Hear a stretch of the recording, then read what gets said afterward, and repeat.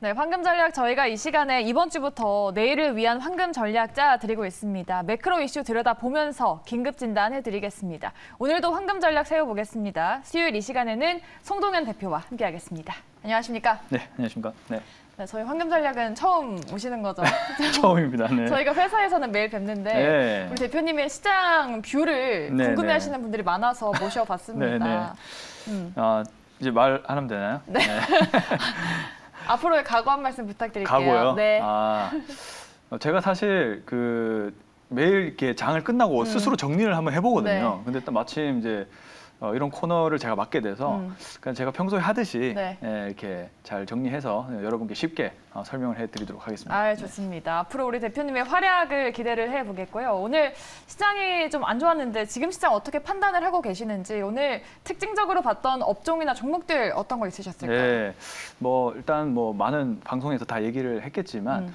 어, 일단 CPI가 충격적인 그런 이제 지수 발표가 나오면서 이제 그 미국 시장이 굉장히 놀랬잖아요. 네, 국내 시장도 역시 나 장초에 어, 하락세가 좀 심했다. 근데 다행 다행스럽게 국내 시장은 좀 빠르게 회복을 하는 모습이었습니다. 미국 선물도 일단은 좀 괜찮았기 때문에 근데 저는 그것보다는 우리나라 시장이 그래도 value가 아, 일단 타 시장보다 싸다 보니까 음. 아, 좀 빨리 회복이 된 게 아닌가. 그리고 또 다음 어떤 물가 지수가 더 급등하기보다는 어, 계속 물가의 어떤 정점을 찍고 내려오는 건 맞거든요. 네. 이제 그러다 보니까 어, 일단은 긴축을 좀 더 강화를 하면 은 그래도 물가는 조금씩 잡히지 않겠느냐. 음. 어, 이런 심리가 좀 반영이 되면서 장 후반부터 좀 수급이 좀 들어오지 않았나 이렇게 저는 생각을 하고 있고요. 음. 어, 그래서 이제 오늘 그 대체로 장은 하락을 했지만은 상승 업종에서는 좋은 어, 그런 내용들이 많이 보였던 것 같아요. 우선은 이제 정리를 좀 해보면 철강이나 금속, 기계 업종 어, 이런 업종들이 좀 강한 흐름을 좀 보였는데요. 근데 대부분 이 부분은 우크라이나 재건주 쪽에 좀 이제 포커스가 맞춰진 그런 네. 느낌이었습니다.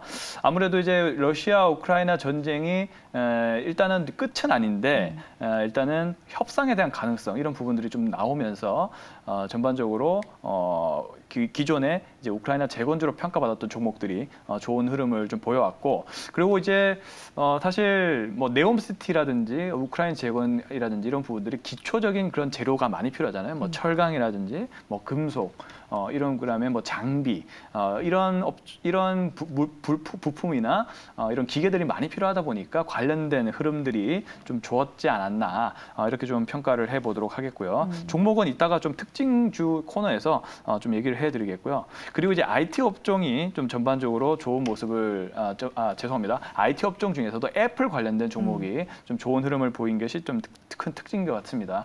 지금 아이폰 14에 대한 어, 흐름이 굉장히 좀 좋은데요. 사실 중국 쪽에서는 지금 못- 못 구해서 계속 주문이 밀리고 있는 상황이라고 하죠. 아, 그리고 미국 내에서도 뭐 주문이 계속 밀려 있고 한국은 아직 출시일도 안 나올 정도로 지금 굉장히 인기가 더 높아졌어요. 네. 어, 뭐가 달라진 건 없는 것 같은데 근데 저만 하더라도 좀 갖고 싶더라고요. 아이폰이요. 네, 아이폰이 아, 이상하게 점점 시간이 지날수록 더 갖고 싶더라고요. 네.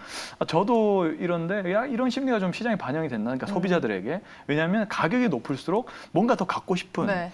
그런 전략인 것 같아요. 근데 어쨌든 그래서 애플 관련된 종목들이 좀 좋은 흐름 나와준 것이 아닌가라고 생각이 들고 있고 그리고 이번에 CPI 관련해서 물가 지표를 방심했던 부분들이 바로 이제 주택 지표라든지 그리고 농산물 음. 쪽이었습니다. 이제 이쪽에서 어, 지금 CPI가 이제 높게 형성이 됐기 때문에 특히 이제 농산물 관련된 어, 섹터가 어, 좀그 오늘 상승이 좀 두드러진 그런 느낌이었고요. 그리고 또 하나는 배터리 쪽입니다. 특히 어, 폐배터리 관련된 종목들은 뭐 시장의 흐름과 무관하게 계속적으로 상승 흐름이 나와주고 있습니다. 뭐 세- 대표적으로 뭐 성일 하이텍, 뭐 세비케, 뭐 코스모 화학 등등의 이런 종목들 어, 계속된 강세 흐름이 좀 주요한 어, 상승 업종이었지 않나 아, 이렇게 보러, 바라보고 있습니다. 네. 네, 우리 시청자분들도 댓글창에서 송동현 대표님이 장 후에 나오시다니 하면서 되게 반가워하십니다. 네, 감사합니다. 저희가 또 대표님의 시장 진단 또 네. 들어봤고요. 저희가 음. 환율 얘기를 또 안 할 수가 없습니다. 음, 지금 네네. 미국 증시가 CPI 충격으로 인해서 2년 만에 최대 낙폭을 보였고 또 음. 달러 인덱스까지 109선대로 또 급등을 하면서 원달러 음. 환율이 1,400원 돌파를 눈앞에 두고 네네. 있는 상황입니다. 음. 대표님은 환율 상단을 좀 어디까지 보고 계실까요? 아, 진짜 저도 사실 이 부분을 좀 예측을 잘 못했었어요. 음. 왜냐하면 금융위기도 아닌데 네. 어떻게 환율이 이렇게 많이 높을까. 그러니까요. 어, 좀 분석을 좀 다시 해보니 어, 역시나 이제 우리나라의 원인이 아니고 너무나 이제 전반적으로 뭐 여러 가지 글로벌 환경 자체가 불안하다 보니까 어, 미국 말고는 전부 다 약세잖아요. 네. 그러다 보니까 어떤 문제가 그런 이게 그런 전반적인 문제가 있어서 예, 환율이 같이 오르는 어, 그런 측면이 있기 때문에 이것은 어, 좀 구조적인 변화가 좀 시작된 게 아닌가 아, 이렇게 좀 판단을 하고 있습니다. 그래서 사실 1,400원을 저도 이제는 좀 돌파를 할 가능성이 높다라고 보고 있습니다. 왜냐하면은 어, 일단은 그 FOMC 회의에서 어, 일단 금리 인상이 예정이 돼 있죠. 그렇게 되면은 당연히 어, 환율은 어, 좀더 그 달러 쪽으로 또 수- 수급이 몰릴 수밖에 없는 환경으로 갈 것 같고 그래서 1,400원 넘을 것 같아요. 그렇다면 이제 1차 목표 로는 1,500원을 좀 볼 수밖에 없는데 음. 어떤 분은 뭐 1,700원까지 예상하는 네. 걸 봤어요. 근데 이제 과연 그렇게 갈 것인가는 사실 좀 의구심은 있- 있는 상황이고 음. 그래서 저는 어, 왜냐하면 이제 시그 연말까지 계속 금리 인상을 할 가능성이 높기 네. 때문에 어, 1,500원까지는 일단은 한번 1차 목표로 한번 잡아보고 어, 한번 예상을 해보겠습니다. 근데 그 이상은 미국도 이렇게 보면은 이제 너무 달러가 강하면은 음. 어, 좋긴 한데 어, 수급이 몰려 좋긴 한데 미국도 근데 지금 그 제조 강국을 다시 예, 선언을 했잖아요. 네. 어, 자국 내에서 다 생산을 해야 되고 연구개발 어, 이런 부분까지를 하면 제조 국가로 발돋움하는데 그 자국 통화가 너무 강하게 되면 가격 경쟁력을 잃습니다. 네. 그래서 어, 이런 부분으로 봤을 때는 어, 너무 강달러가 돼도 어, 미국에서 경제에 대한 부분들이 좀 충격을 가할 수도 있기 때문에 어느 정도는 좀 관리가 될 것으로 예상을 하고 우선은 한 1,500원까지 일단 1차 목표로 잡고 한번 보도록 하겠습니다. 네. 네. 어, 1차 목표를 1,500원까지 보고 계시는데 지금 저희가 보고가 하나 들어왔습니다. 네. 예전에 새벽 방송을 하실 때 예, 예. 이 환율 급등에 따른 수혜주로 인해서 고려 신용 정보를 그때 말씀을 아, 하신 적이 예, 있다고 예. 들었습니다.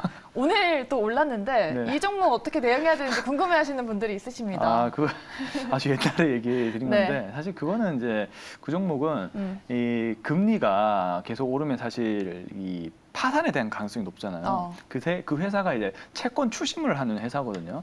근데 그러다 보니까 사람들이 특히 우리나라는 부동산이 굉장히 취약한데 네. 가계 부채가 높고 근데 경제가 어려워질수록 금리가 높아지니까 그, 그에 따른 이제 뭐 파산 신청이라든지 음. 이런 부분들이 많이 나올 수 있거든요. 근데 어, 그 급등에 대한 부분은 어, 고려 신용 정보가 좀 많이 반영이 된 것 같아요. 네. 사실 이제 왜냐하면 여기서 더 큰 이슈가 나와야 음. 이 회사가 더 큰 급등이 나오게 되는데 근데 사실 물가 급등 그다음에 금리 급등은 사실 시장에서 많이 이제 녹아든 이슈이기 때문에 과연 이 회사가 더 여기서 더 갈 수 있을까를 음. 생각해 보면은 어, 조금 더 어, 급등할 가능성보다는 음. 어, 좀더 그냥 관리를 어, 좀 안정적으로 관리를 하는 게 낫다 가지고 계신 분들은 아. 어, 저는 그런 측면으로 좀 바라보고 있습니다. 네, 네. 그냥 보유자의 영역인 것 음. 같다라고 고려 신용 정보에 대해서 저희가 또 리뷰 아닌 리뷰를 들어봤고요. 네.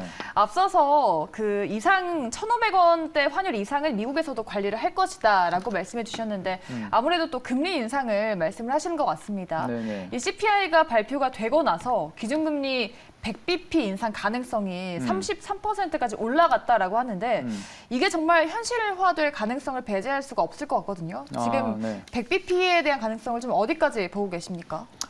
일단은 뭐 100bp 인상 가능성이 올라가고 있긴 한데 음. 어, 과연 그 정도까지 어, 강하게 긴축을 할까는 음. 사실 저는 조금 의구심이 있습니다. 왜냐하면은 어, 물가가 여기서 뭐 더 상승한 건 아니고요. 예상치보다는 높게 나왔지만은 어쨌든 전월 대비해서는 낮아지는 추세가 이어지고 있기 때문에 어, 일단은 그 연준의 어떤 공식 목표는 물가 잡는 것도 있지만 경제 성장도 같이 좀 생각을 해줘야 되거든요. 근데 고강도의 긴축을 너무 빠르게 또 진행을 해버리면은 어, 제가 봤을 때는 어, 조금 경기 침체에 대한 우려까지도 더 빠르게 올수 있기 때문에 뭐 혹자는 빨리 뭐 긴축을 더 세게 잡아야 나중에 더 좋다. 뭐 물론 그 의견도 동일합니다만은 음. 좀 신중한 연준의 입장에서 봤을 때는 네. 어, 시장에서 예상하는 75bp 음. 쪽으로 가는 것이 더 확률이 높지 않을까 어, 저는 이렇게 생각하고 있습니다. 네. 네, 알겠습니다. 저희가 또 환율 상승에 따른 또 금리 인상 전망까지 저희가 들어봤는데 오늘 하락장이었죠. 하락장에서도 음. 돋보였던 건 아무래도 폐 배터리 관련주들의 상승이었습니다. 네네. 이 외국인이 매도를 하는 와중에도 2차 전지 폐 배터리 관련주는 좀 담아가는 기조였거든요. 네. 변동성 장에서 폐 배터리 관련주가 대안이 될 수 있을까요? 자 그렇기 때문에 이제 뭐 이제 지금은 이제 계속 좋아 보이는 종목을 좀 이제 계속 올라가는 그런 경향이 있어요. 이게 네. 시장이 불안하다 보면 확실하게 어떤 성장 모멘텀이 있는 어, 업종으로 좀 따라가기 마련인데 그게 때 태조 이방원의 하나였죠. 근데 그 2차 전지에 어, 폐배터리가 또 그 한 축을 담당을 했었다고 했었거든요. 네. 왜냐하면 이제 폐배터리가 이제 사실 어, 성일 하이텍, 세비캠이 이제 신규 상장이 됐고 어, 완전 새로운 종목이잖아요. 어, 그러다 보니까 좀 가치가 아, 더 저평가됐을 거라는 가능성이 있는 거죠. 예를 들면 이제 PER을 같이 공통으로 비교를 해봤을 때는 폐배터리는 이제 막 상장이 됐기 때문에 같은 2차 전지 PER이랑 비교해봤을 때는 아예 또 낮게 보는 거죠. 성장성이 대비해서는 어, 그렇기 때문에 어, 급하게 종목들이 어, 그 PER 공통 기준을 맞추기 위해서 아, 좀 상승을 한 게 아닌가 저는 그렇게 바라보고 있고 그래서 이제 어, 세비캠 성일 하이텍이 오르니까 원래 코스모 화학이 폐배터리 사업을 하고 있었단 말이에요. 근데 그 전에는 사실 움직이지 않았습니다. 어 근데 가, 갖고 있었는데 근데 이제 이 업종이 같이 오르다 보니까 코스모 화학도 이제 갑자기 오르기 시작하는 거거든요. 근데 이제 음 지금 분위기가 제가 봤을 때 근데 서서히 바뀌고 있는 그런 과정이 있기 때문에 일단은 폐배터리 관련된 주 너무 항상 진리는 너무 오른 종목은 네. 일단 건드리지 않는 건 좋, 좋을 것 같아요. 저는 음. 음, 아무리 뭐 이렇게 좋게 포장이 돼 있어도 그거는 이제 어, 포장이 돼 있을 확률이 높거든요. 그러니까 신규 보, 신규로 보시는 분들은 그래도 안 오르더라도 좀 저평가된 영역에 있는 종목을 건드리는 게 낫지.